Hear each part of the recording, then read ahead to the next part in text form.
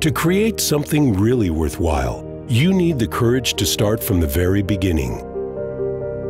With INTAREMA, we bring together top recycled pellet quality, increased throughput, and extremely easy operation in an unparalleled way. Plus, energy consumption is considerably lower. With the newly developed counter-current technology, the cutter compactor and extruder work more efficiently than ever before.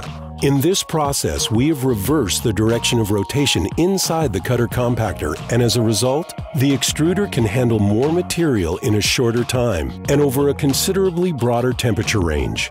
This achieves higher throughput, more stable operation, and generally greater flexibility in the production process.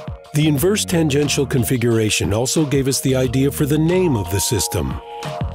INTAREMA breaks new ground in many respects, including design, for example, which reduces the complexity of the system and concentrates on what is important. This applies in particular to operation, now simplified by the SmartStart concept, which focuses on automation and user friendliness. The right recipe can be loaded at the press of a button for any recycling application. Saving energy means saving costs. EREMA systems stand for top energy efficiency and low CO2 emissions. Thanks to the further development of the ecoSAVE technologies, INTAREMA is even more energy efficient and environmentally friendly despite the enhanced performance. For example, every system features a highly efficient melt filter. The self-cleaning backflush filter with two filter pairs ensures continuous operation.